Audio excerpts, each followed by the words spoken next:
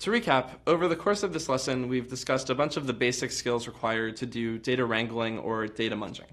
So we've discussed some of the formats that data might come in, such as CSV, JSON, and XML.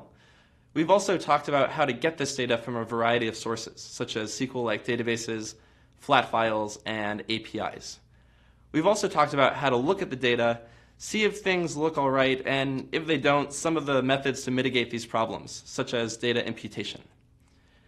Over the course of doing these basic acquisition and cleaning tasks, you'll usually discover some basic things about your data. But you might also want to do some more sophisticated analysis to learn some more subtle things about your dataset. That's what we'll learn in the next lesson, and then we'll apply those insights to the New York City subway data.